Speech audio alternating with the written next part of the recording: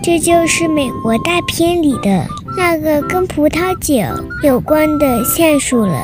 外国人只知道做橡木桶，我们中国人不一样，橡木子一到秋天掉的遍地都是，只要在放羊的还没来到之前，就可以很轻松的捡到很多。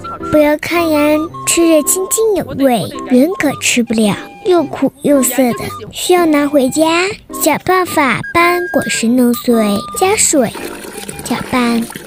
果里的渣子再沉淀之后得到它的淀粉，烧一些水，倒入橡木子淀粉，熬煮十分钟，起锅，彻底发芽之后得到橡子凉粉。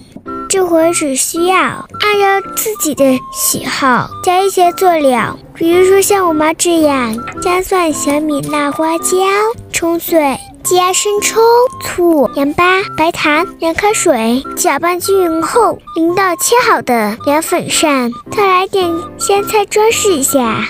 这样不管是看起来还是吃起来都非常的清爽可口。妈妈，饭呢？